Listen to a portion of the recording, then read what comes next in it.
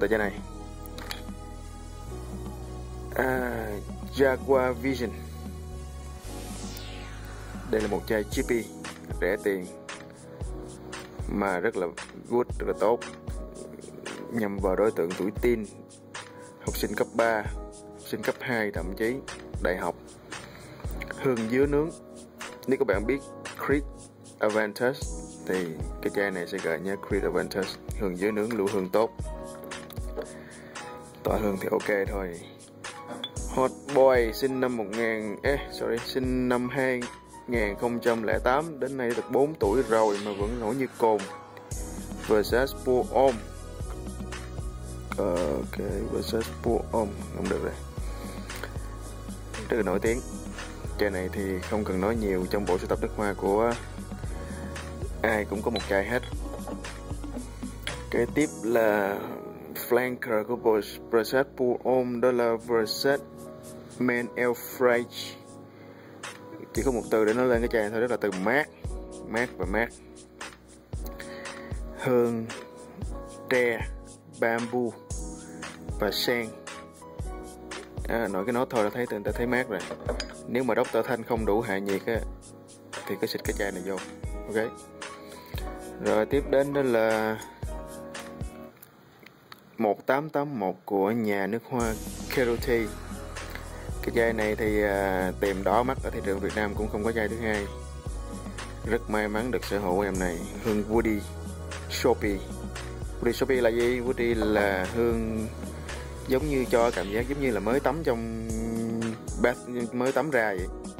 Sạch sẽ mát mẻ. Ok con chút xíu gì đó cổ điển. Người em song sinh 1881 Black à 1881 Black tại vì nó màu đen, gọi là Black. Cái chai màu hồng hố chưa? Nhưng mà cái mùi rất là trẻ trung và rất là an toàn. Dễ xài. Hai đồng chí này thì lưu hương khá ổn. Tỏa hơi kém thôi nhưng mà lưu hương rất good. Nên có ngon bổ rẻ. Thấy mà không mua là hối hận. Tiếp đến là Atimo Pure Homme của Salvatore Ferragamo.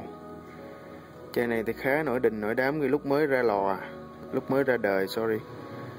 Vào khoảng đầu năm 2012 nhưng mà nhanh chóng đi vào quên lãng bởi vì sao? Hương rất là tầm thường. Tọa hương lưu hương good, hương này rất là, không phải nói tầm thường, tức là sao? Tức là hương rất là phổ thông. Dạng đi học, đi làm bình thường. Lưu hương hơi kém chút xíu đó lý do tại sao mua xài nhỏ. Ok, gì đây?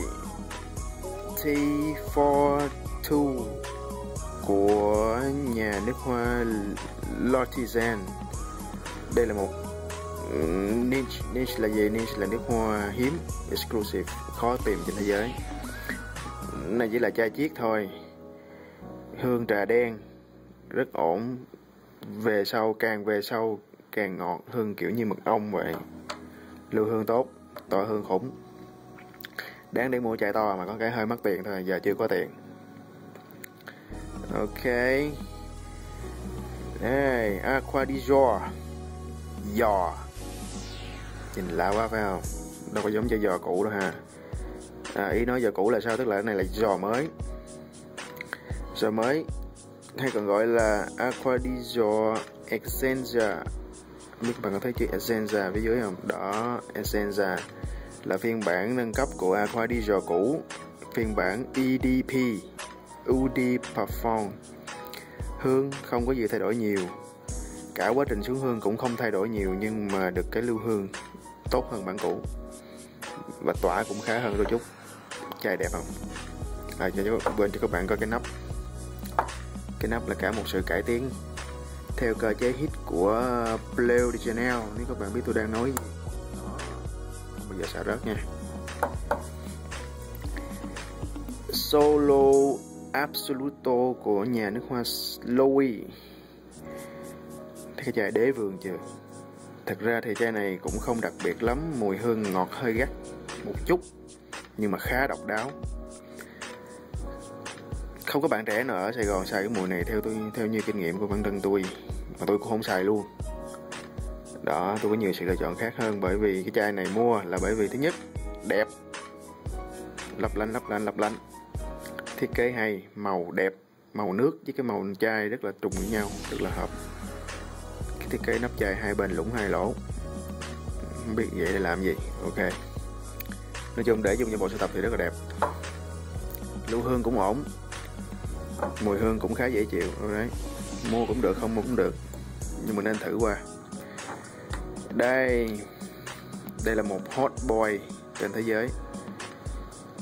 Mà ở Việt Nam không ai biết hết. À, rất may mắn được sở hữu em này. Đó là Michael Kors. From Men của nhà nước hoa Michael Kors. Sweetie Tobacco nghĩa là hương thuốc lá ngọt. Đại diện cho sự lịch lãm chín chắn trưởng thành nam đi làm công sở thì nên xài chai này. Sinh viên thì không nên. Sinh viên có những sự lựa chọn khác. Okay. tiếp đến là Ed Hardy Men của nhà nước hoa Christine Audigier. chai này thì à, hương rất là tin. Bề ngoài hầm hố, hổ báo, cọp, vằn rằn đi nhưng mà hương rất là tin ban đầu nhìn chai này cũng nghĩ là xịt nó sẽ cho mình cảm giác đại bàng ra đường ai cũng phải cú rạp, nhưng mà thực ra sai lầm. Chai này ta tester, cái nắp này là nắp tester nha. Chai retail thì cái nắp nó to đẹp lắm, chụp lên. Ok, hương rất là tin an toàn, ngon, bổ, rẻ.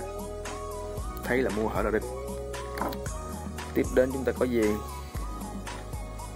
El Duke the Berry từ Ru Ramsey Ramsey 1795 thì à, nói sơ qua thì Ramsey 1795 là một nhà làm nước hoa mang tính hoàng gia Pháp à, liên quan trực tiếp với à, vị vua hiếu chiến Napoleon. Cái chai này thì ở Việt Nam chắc không ai biết hết. Cũng không đến nỗi quá khó tìm trên thế giới nhưng mà ở Việt Nam mình không biết bởi vì không có đơn vị nào bán hết. Đấy hương cardamom rất là đàn ông. Nếu các bạn xài declaration từ Cartier thì các bạn sẽ biết được cái mùi hương của cái này, nó có sự tương đồng với declaration của Cartier. Ok, next. Oh hot boy. Ludice Ludice của Issey Miyake. Biết các bạn có thấy cái chữ đó? Xài cũng khá nhiều rồi chứ hả? Xài 30 phần trăm rồi. Càng hết càng buồn nhưng mà không sao, cái này cũng dễ tìm. Bước vô fashion bước vô diamond là sẽ bị sẽ bị mấy em nhét que vào túi, tối xả. Liêu đi xe. Cái này mình cũng mua ở Việt Nam, cũng dễ tìm. Hương Juju rất là mát. Juju là gì? Juju là các bạn cứ hình dung, lấy cái trái cam hoặc là trái chanh, chà xét cho cái vỏ nó bắn tóe nước rồi nó ra một cái hương rất là chua, mà có chút xíu đắng. Mát lắm ổn, lưu hương 8 tiếng. Tỏa tốt. Ok tới DNG Lefo 21 cái này là một trong 6 hoặc 7 chai gì đó của dòng Anthology của DNG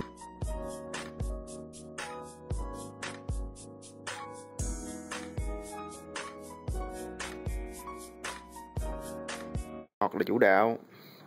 Nhưng mà lượng hương kém. Lượng hương quá kém 3 tiếng maximum nhưng mà cũng đáng để sưu tập, tại vì không mắc lắm. Đấy, sưu tập một, hai chai nổi định nổi bật nhất ở trong cái line đó. Ngoài cái 21 này ra thì nghe nhiều người bảo là số 11 cũng good, nhưng mà chưa có dịp thử. Nhưng mà sẽ không thử. Next, Dior. Dior Fahrenheit 32 trước đây thì tôi có một cái chai Dior Fahrenheit đỏ. Chai đó thì là huyền thoại rồi nhưng mà đẩy đi rồi. Bởi vì nhiều quá. Dior 32 đỏ thì cái lớp hương đầu nó giống như hương mùi xăng dầu vậy xuống hương càng về sau thì càng ấm và có hương hoa. Thì cái Dior Fahrenheit 32 này thì cũng có chung cái xương sống của Dior Fahrenheit mém bể. À, nhưng mà nó cái chủ đạo của nó là ngọt vanilla và metallic. Tức là sao? Tức là hương giống như thanh sắt vậy. Hương vani sắt các bạn biết tại sao cái này nắp là nó, nó cái nắp này cái nắp này cho biết được cái mùi hương rồi. Dí mũi và ngửi thanh sắt sẽ ra cái mùi rất là bén rất là sharp. Nhỏ thêm vài giọt vani lên thì sẽ ra cái mùi này luôn. Rất là mát lưu hương khá ổn nhưng mà xài nhiều có thể gây cảm giác nhức đầu không biết tại sao.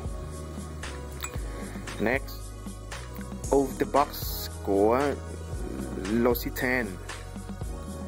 L'Occitane đến từ Pháp From Paris with Love chai này thì à, cũng dạng ok thôi.